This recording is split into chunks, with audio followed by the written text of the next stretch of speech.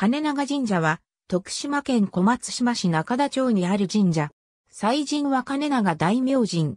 大英社長、長田正一が、阿波たぬき合戦成功の礼に寄付した資金を、主として1956年に建てられた。宗教法人ではない。伝説上の阿波たぬき合戦で落命した、金長たぬきを祀った神社である。金長の死後、染物屋の萌え門が、金長大明神として手厚く弔い、金長は江戸時代後期の高価5年生1位に上った。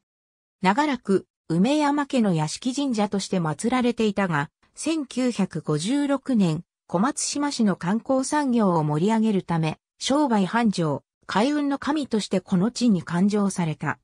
なお、当神社の北側にある芝山山上の日、峰神社には、境内社として金長神社本宮がある。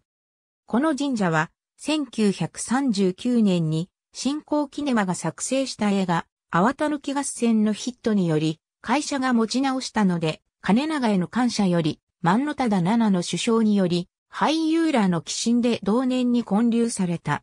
小松島市民運動場に隣接しており、周囲には桜が植えられ春には花見客で賑わう。2019年より御朱印が授与されるようになるが、通常は地蔵寺で、限定は特定日のみ神社で授与される。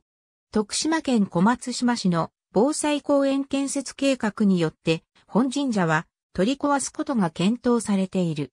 市の計画に対する危機感から2018年2月に地元では金長神社を守る会が結成され、署名や境内の掃除など保存に向けた活動を行っている。県道小松島高専から徳島赤十字病院から約300メートル北へ行き、右折市東へ約50メートル。ありがとうございます。